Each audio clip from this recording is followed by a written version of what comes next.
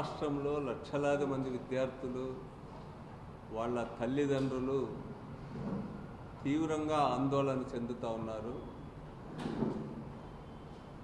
చాలా చోట్ల తమ పిల్లలు స్కూల్స్కు వెళ్ళడానికి అవమానాలు ఎదుర్కొంటున్నారని చెప్పి తల్లిదండ్రులు కంప్లైంట్స్ చేస్తూ ఉన్నారు.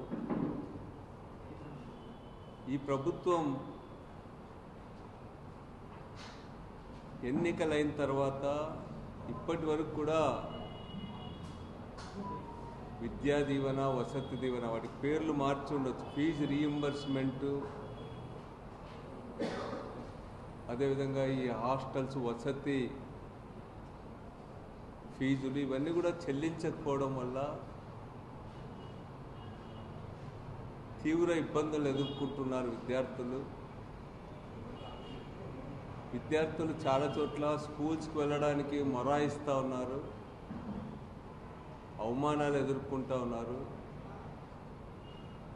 కోర్సులు పూర్తయిన వాళ్ళకు కూడా సర్టిఫికెట్స్ ఇవ్వడం లేదని చెప్పి అనేక కంప్లైంట్స్ రావడం జరిగింది. వీటిపైన మొన్ననే మాజీ ముఖ్యమంత్రి జగన్మోహన్ రెడ్డి గారు రాష్ట్రంలో విద్యార్థులు ఎదుర్కొంటున్న సమస్యలపైన ప్రకటన చేయడం జరిగింది. వెంటనే విద్యార్థుల ఫీజు రీఎంబర్స్మెంట్ బకాయిలు అదేవిధంగా వసతికి సంబంధించిన బకాయిలు వీటన్నిటిని కూడా విడుదల చేయాలని చెప్పి విజ్ఞప్తి చేయడం జరిగింది. ప్రభుత్వం లోకేష్ గారు దీనిపైన ఎదురుదాడికి పూనుకుంటా ఉన్నాడు.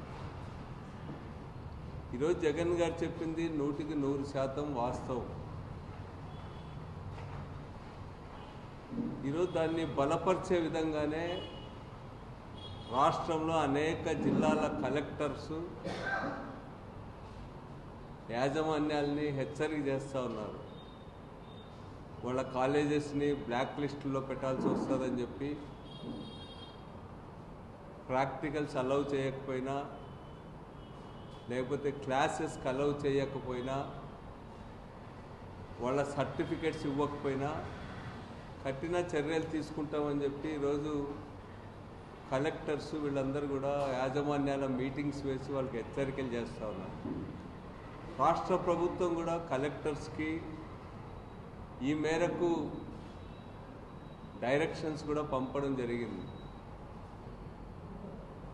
ఇది వాస్తవం కాబట్టే రాష్ట్ర ప్రభుత్వం కానీ లేకపోతే కలెక్టర్స్ కానీ వీళ్ళు స్పందించాల్సి వస్తూ ఉంది. మరి ఎందుకు ఇంత జాప్యం చేసింది ఈ ప్రభుత్వం? ఈ ప్రభుత్వం పైన ఈ ప్రభుత్వానికి ఎడ్యుకేషన్ పట్ల ఎంత నిర్లక్ష్యం ఉందనేటువంటిది దీనివల్ల అర్థమవుతుంది. జగన్మోహన్ రెడ్డి గారు ముఖ్యమంత్రిగా ఉన్నన్ని రోజులు కూడా విద్యా దీవెన వసతి దీవెన కింద దాదాపు పద్దెనిమిది వేల కోట్ల రూపాయలకు పైగా ఇవ్వడం జరిగింది. మొన్న కూడా ప్రతి మూడు నెలలకు ఒకసారి క్రమం తప్పకుండా గతంలో జగన్ గారి ప్రభుత్వం విద్యార్థులకు వసతి దీవెన విద్యా దీవెన ఇవన్నీ కూడా ఇవ్వడం జరిగింది. ఒక ఎలక్షన్స్ ముందు మాత్రమే తెలుగుదేశం పార్టీ ఎన్నికల కమిషన్ కంప్లైంట్ చేయడం వల్ల అప్పుడు ఇవ్వలేకపోయినాం. మరి ఎలక్షన్ కమిషన్ కంప్లైంట్ చేసిన తెలుగుదేశం ప్రభుత్వ పార్టీ తాను అధికారంలోకి వచ్చిన తర్వాత ఆ రోజు నుంచి ఈ రోజు వరకు కూడా బకాయిలు ఇవ్వడం జరగల. మరి ఇవే కాకుండా మొన్ననే హైకోర్టు కూడా తీవ్రమైనటువంటి వ్యాఖ్యలు చేసింది. సాంఘిక సంక్షేమ హాస్టల్లో గురుకుల హాస్టల్స్లో భద్రత సరిగా లేదని భయంకరమైన పరిస్థితులు నెలకొన్నాయని చెప్పి రాష్ట్ర ప్రభుత్వానికి కొన్ని అంశాలతో కూడినటువంటి సూచనలు కూడా చేయడం జరిగింది. హాస్టళ్ళలో పరిస్థితులు ఎట్లుంటాయనేటువంటిది ఈరోజు అర్థమవుతోంది. కాలేజెస్ ఓపెన్ చేసి ఇన్ని నెలలు కావస్తున్నా కూడా హాస్టల్స్లో ప్రారంభంలోనే దుప్పట్లు కానీ కార్పెట్స్ కానీ టవల్స్ కానీ అదేవిధంగా ట్రంక్ పెట్టెలు కానీ బుక్స్ ఇవన్నీ కూడా ఇచ్చేవాళ్ళు. కానీ ఈరోజు చలి ముంచుకొచ్చినా కూడా ఈరోజు కూడా సాంఘిక సంక్షేమ హాస్టల్స్ గురుకుల హాస్టల్స్లో ఇవేవి ఇవ్వడం జరగల. మెస్ ఛార్జీలు కాస్మెటిక్ ఛార్జీసు అన్నీ కూడా ఐదు నెలలుగా ఒక్క రూపాయి కూడా విడుదల చేయకుండా ఈ ప్రభుత్వం బకాయిలు పెట్టింది.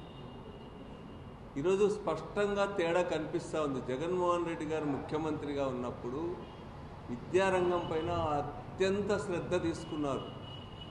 విద్య అనేటువంటిది దేశ నిర్మాణంలో చాలా ప్రధానమైనటువంటిదని భావించి చాలా మానవతా దృక్పథంతో జగన్మోహన్ రెడ్డి గారు డెబ్భై మూడు వేల కోట్ల రూపాయల రాష్ట్రంలో ఐదు సంవత్సరాల్లో ఖర్చు పెట్టడం జరిగింది. జగన్ గారు మెనూకు సంబంధించి గంటలు గంటలు కూర్చునేవాడు వాళ్ళ దగ్గర. మెను ఏది అయితే బాగుంటుందని మెనులో చాలా పౌష్టికాహారాన్ని ఇచ్చేటువంటి మార్పులను రుచికరంగా విద్యార్థులు మధ్యాహ్న భోజనాన్ని తీసుకునేటటువంటి మా మార్పులన్నీ కూడా జగన్మోహన్ రెడ్డి గారు ముఖ్యమంత్రిగా ఉన్నప్పుడు చేపట్టడం జరిగింది. దీని వెనక ఒక కన్సర్న్ స్పష్టంగా కనిపిస్తుంది. విద్యార్థుల పట్ల పర్టికులర్గా పేద విద్యార్థుల పట్ల గిరిజన విద్యార్థులు ఎస్సీ బీసీ విద్యార్థులు వాళ్ళ భోజనాల పట్ల వాళ్ళ చదువు విషయంలో వాళ్ళకు బట్టలు ఇవ్వడంలో కానీ వాళ్ళకు బుక్స్ ఇవ్వడంలో కానీ వాళ్ళకు బ్యాగ్స్ ఇవ్వడంలో కానీ అన్నింటిలో కూడా జగన్మోహన్ రెడ్డి గారి ప్రభుత్వం అత్యంత శ్రద్ధ తీసుకుందనేటువంటిది మనం అనుభవంతోనే చూసినాం. ఈరోజు జగన్మోహన్ రెడ్డి గారు ప్రవేశపెట్టిన విద్యారంగంలో విప్లవాత్మక సంస్కరణలు అనేకాన్ని ఈరోజు జగన్మోహన్ రెడ్డి గారి పట్ల ఉన్నటువంటి వ్యతిరేకతతో ఈ ప్రభుత్వం కంటిన్యూ చేయడానికి ఇష్టపడ్డంలా. ఈరోజు స్కూల్స్లో ఇంగ్లీష్ మీడియం దాదాపుగా రద్దయిపోయింది.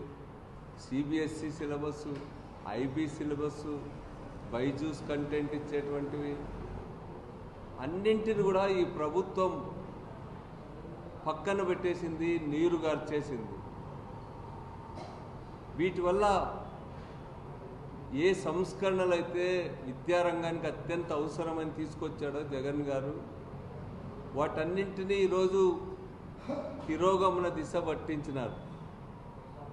ఇదేదో జగన్ గారు తనొక్కడే వేసింది కాదు ఇది. చాలా నిష్ణాతులైనటువంటి విద్యావేత్తల్ని సామాజిక శాస్త్రవేత్తల్ని వీళ్ళందరి సలహాలు తీసుకొని ఈ మార్పులన్నీ జగన్మోహన్ రెడ్డి గారు తీసుకొచ్చినారు.